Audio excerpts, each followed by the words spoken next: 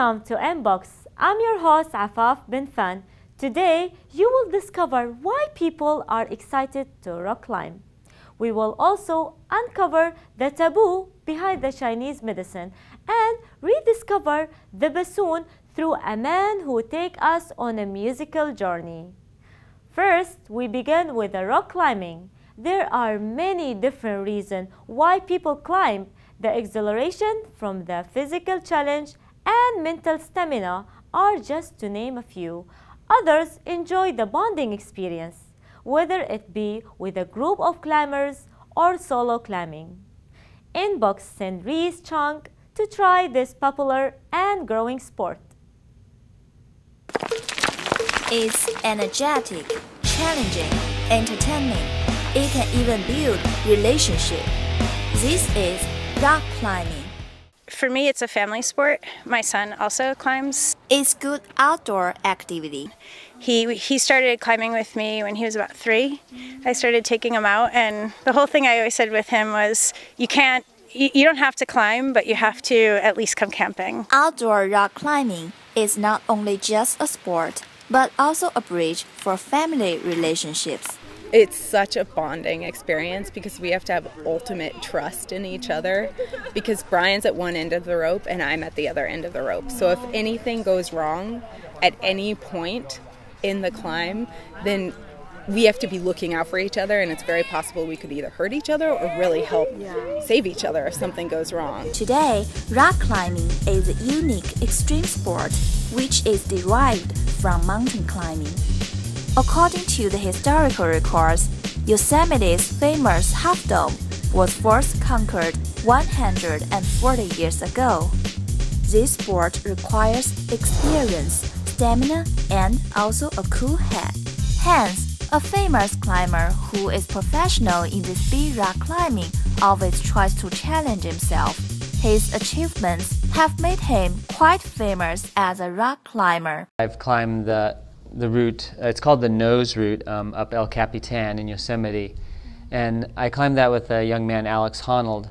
Um, initially, that route was climbed in seven, well, 12 days. It took them to climb this route in, back in the 1950s. It's the most famous route. The Nose Route is the most famous big wall route in the world. Not only that, climbers seem to have something in common.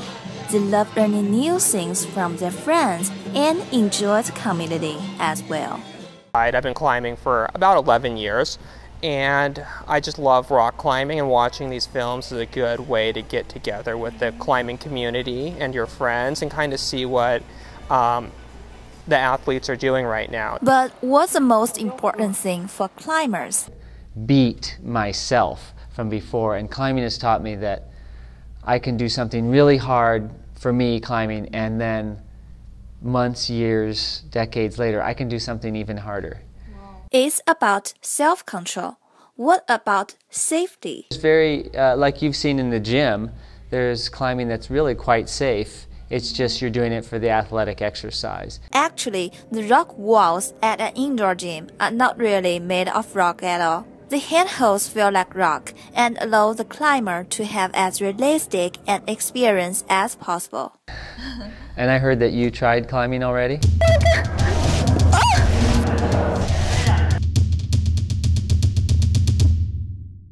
Before we go climbing, there are important steps we need to remember. So it's always important to double check your harness to make sure everything is set correctly because if you're up top and it's not set correctly, you could fall and hurt yourself. So we always check that our harness is double back, which means that the strap goes through, go, goes back over and around.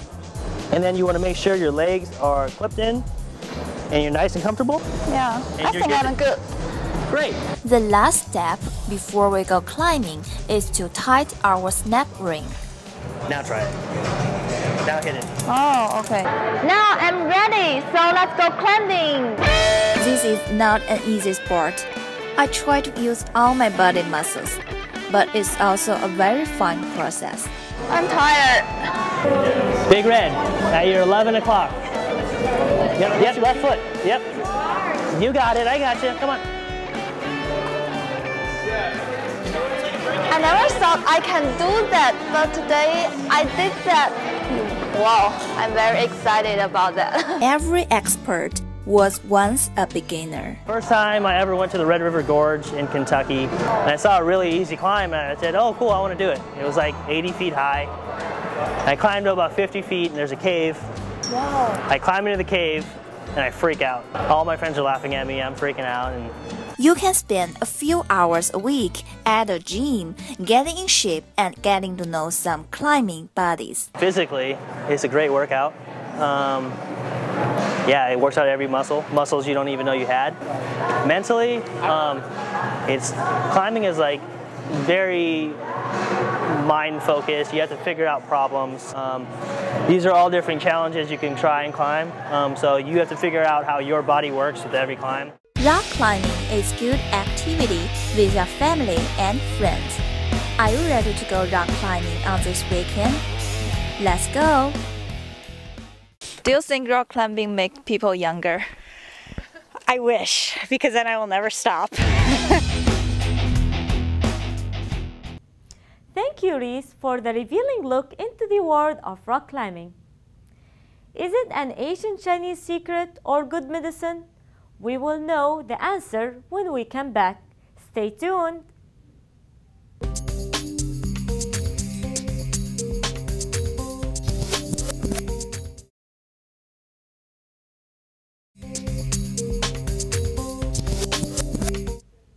Chinese medical practices have been around for thousands of years, but they still have difficulty finding acceptance in the United States. We found a Chinese doctor who is on a mission to change just that. He is blending Asian practices with modern medicine.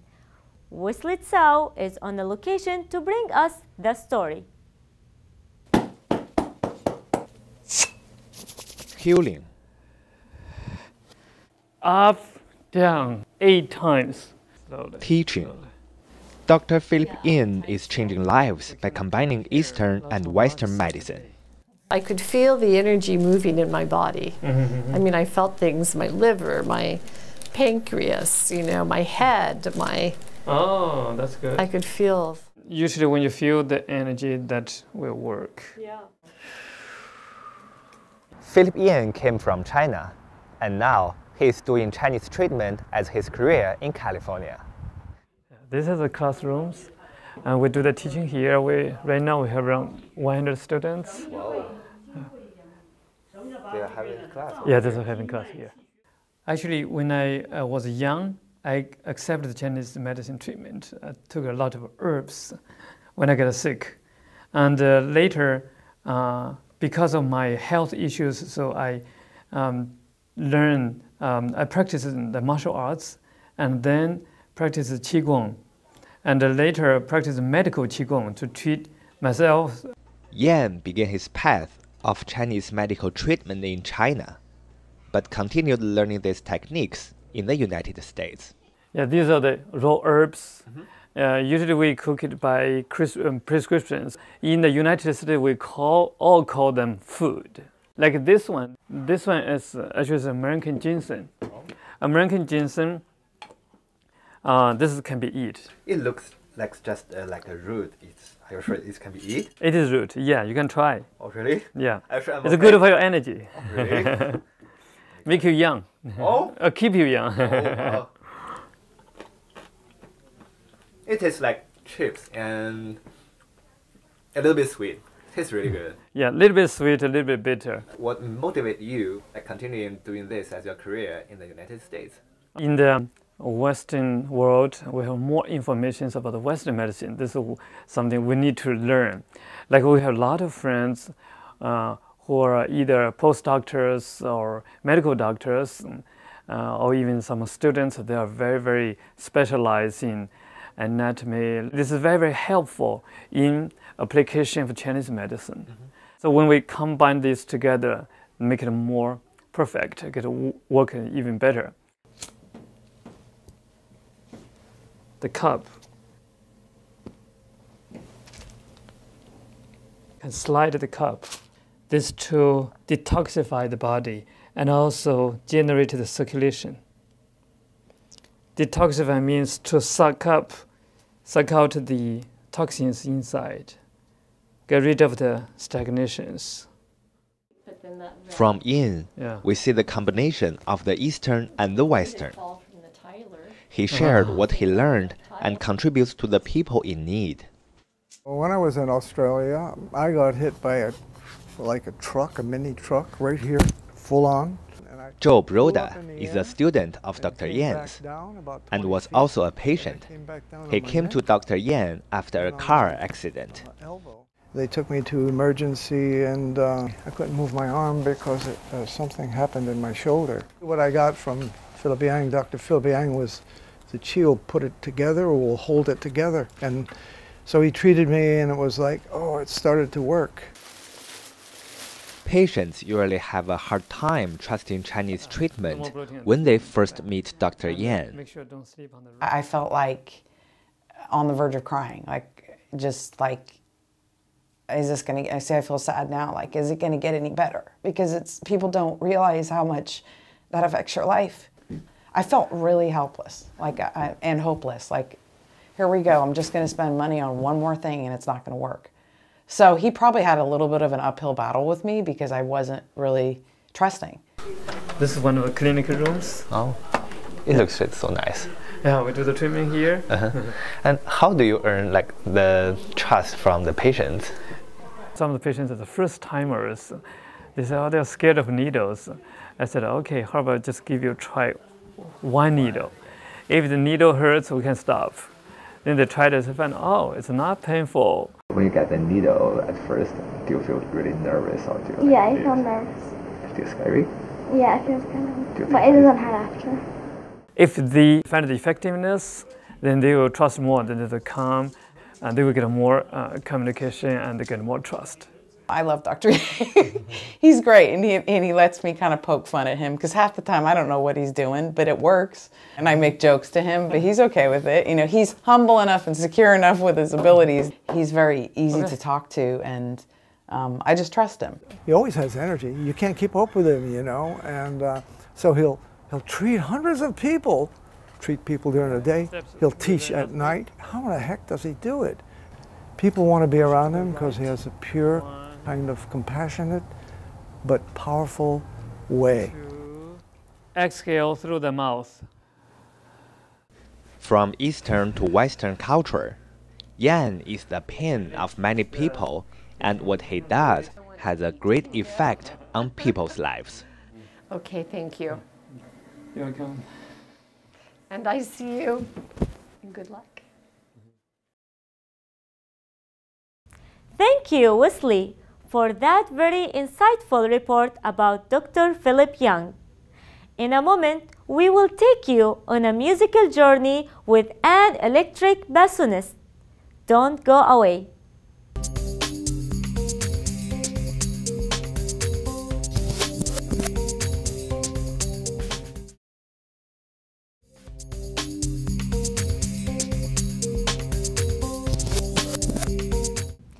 The bassoon is a classical instrument that has been enjoyed for over 400 years, though it has often been relegated to the back row of the orchestra.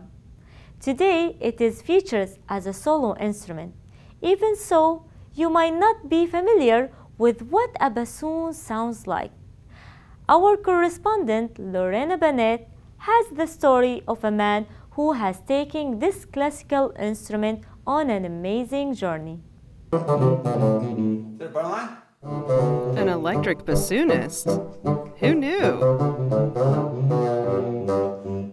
Traditionally known as a classical instrument in orchestra. But you don't play it classically, do you? Uh, no, I don't. I've done all kinds of different things with it. Yeah. The bassoon is not typically plugged into an amp like a bass guitar, so it is unusual to see and surprising to hear. I did what everybody does at the beginning. You know, it's different, I think, in the 80s than it is now. Very cool looking. It's actually a lot harder than it, you know, appears. For the longest time, I played basically, um, you know, classical on bassoon. I didn't even think about improvising. Until he heard Uh, Jimi Hendrix. I heard Jimi Hendrix, and it just blew my mind. This was his first album under his own name as a solo artist. One of my favorite sessions? One take live, no overdubs, with a lot of high energy. As a recording producer, it was quite interesting to see Paul work his magic.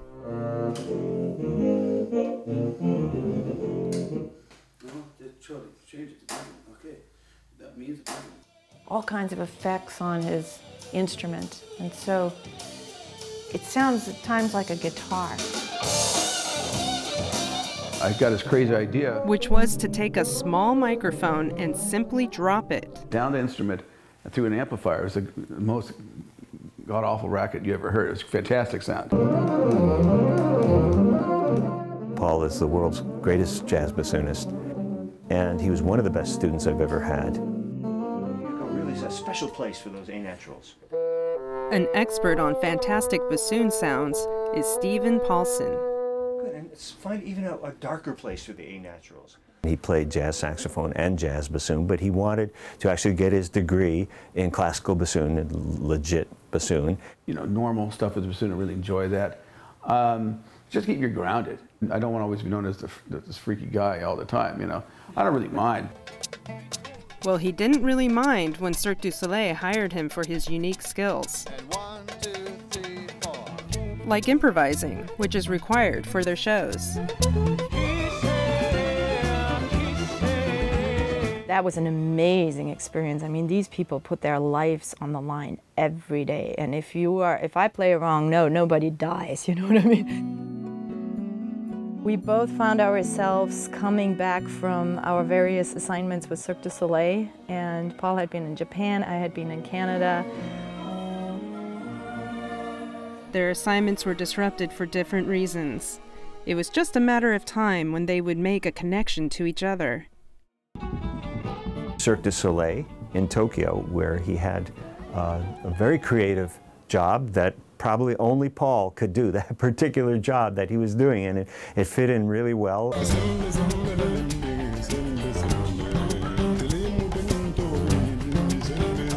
He was supporting his whole family in Tokyo on that job, and he had to reinvent himself very quickly when that dried up and he had to come back. A natural disaster occurred and forced immediate evacuation tsunami and uh, earthquake in Japan happened. I was over there when that happened. So you come back, you have to start over again, and it's really different. Ariana also faced uneasy transitions. Reinvention was necessary. That's when she and Paul met. And we were sort of trying to figure out what now and what to do next. So together they collaborated and created the band Oon.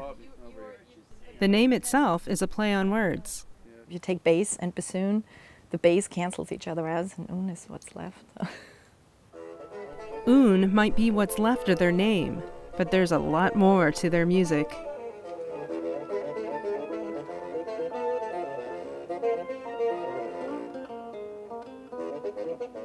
Both instruments don't sound like you typically hear them in, in an ensemble. Like the bassoon is much brighter than you would hear it. And actually, it, it took Paul a little bit to get used to that the main stuff happened for me when I started to mix it. Like how do we blend the two instruments and, and balance them and, and still get a full sound. A lot of it is, is just for me experimenting with the tools that I have and, and see what sound we can get. Bass and bassoon is just, we find it so compatible. Uh, so many things worked. Well, I mean, this is one take. There's no. I, I think it's still an ongoing process for us to figure out the, the perfect Oon sound. So far, we're, we're very happy how it turned out. So that's why we called our CD Polaris, which is like the North Star, you know, so kind of when you're lost, you look at the compass of your heart, and we just followed that. One thing I always say for anybody who's involved in art or maybe in any field at all is I never think, oh my God, now I've made it. Because the minute you kind of just like, you can relax, but you just can't, like, uh, you have to stay involved. Involvement may be in large groups or as a soloist.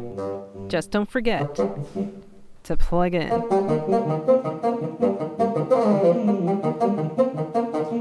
Something like that? No. Thank you, Lorena, for that wonderful report. That was music to my ears. He never skipped a beat. We climbed new heights with rock climbing.